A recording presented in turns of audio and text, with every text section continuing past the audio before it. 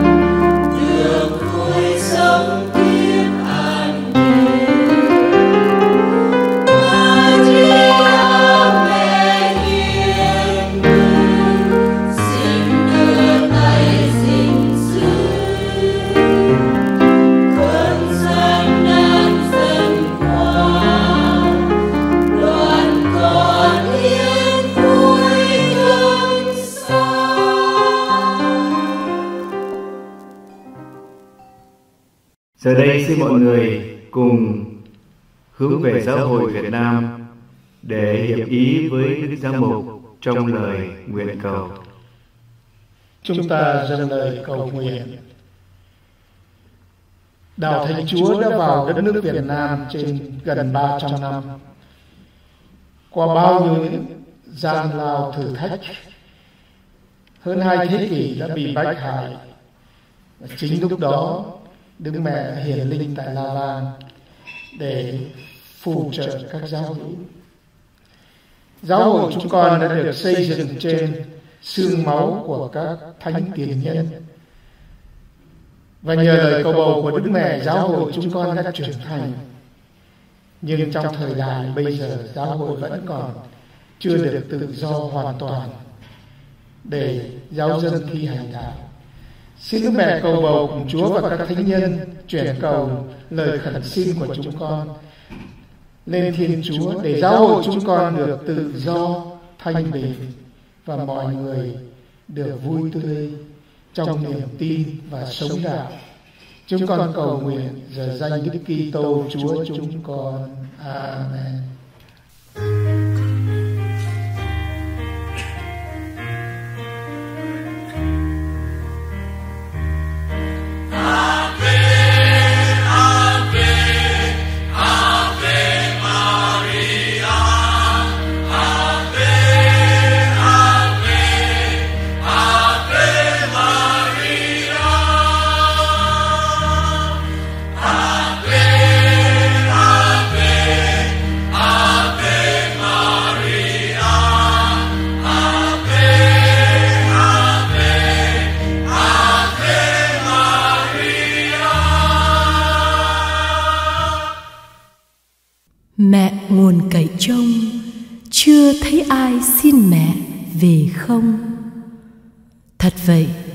Đường đời của chúng con Luôn được mẹ chăm nom, ủi an, ban ơn theo mỗi người.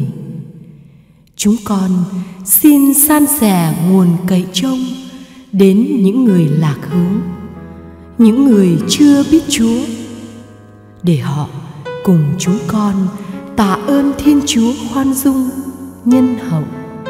Cảm ơn mẹ bao bọc, chờ che.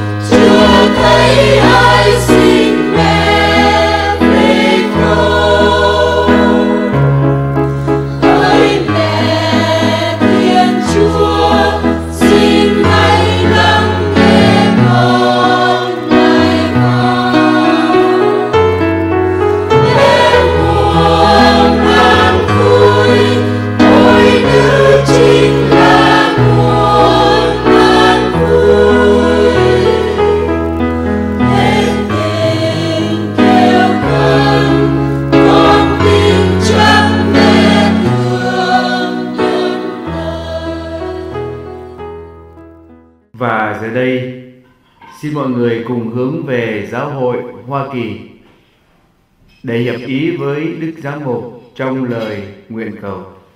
Chúng ta dâng lời cầu nguyện. Lạy Chúa, cách đây 33 năm, một số dân Việt của chúng con đã vượt biên và đến đây để cư ngụ và nhận quê hương này làm quê hương thứ hai của chúng con. Qua sự nâng đỡ của Giáo hội Công giáo Hoa Kỳ, đặc biệt là USCC, chúng con đã được an cư lạc nghiệp.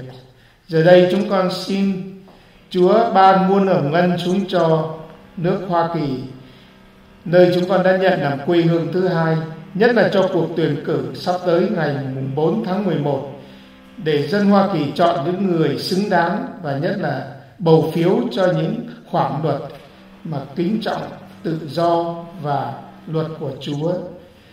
Chúng con cầu nguyện nhờ danh Đức Kitô Chúa chúng con. Amen. Amen. mẹ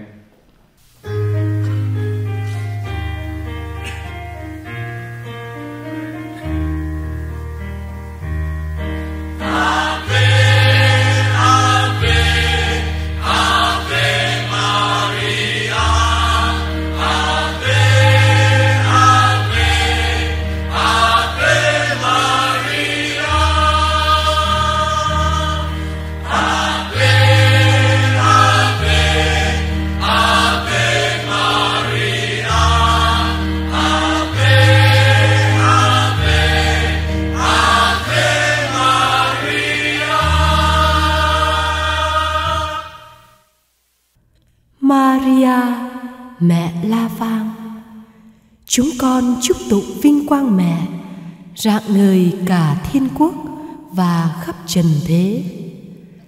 Mẹ chữa lành thân xác bệnh tật, hàn gắn tâm hồn khổ đau trong mọi thời đại. Vinh quang mẹ nở muôn hoa tươi đẹp, tỏa hương thơm trước nhan thánh chúa.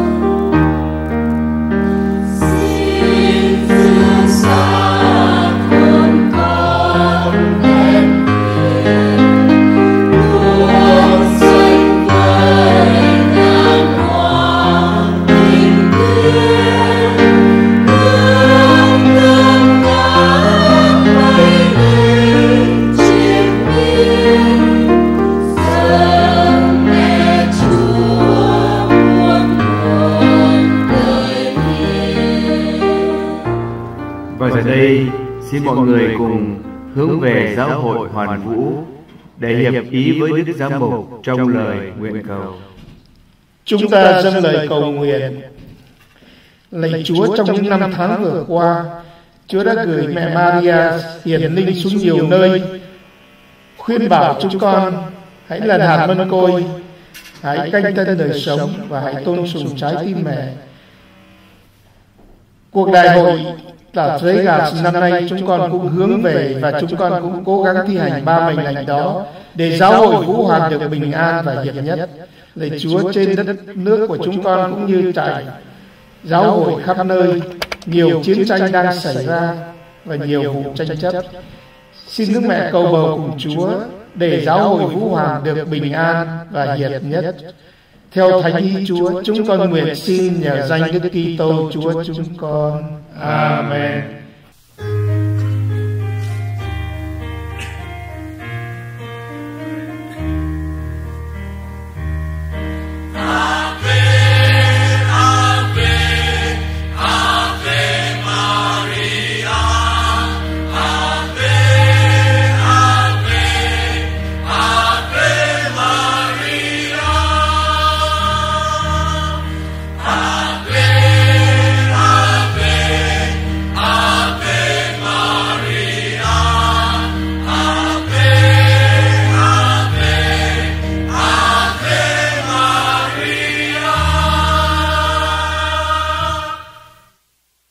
Chúng con bên mẹ và cùng mẹ.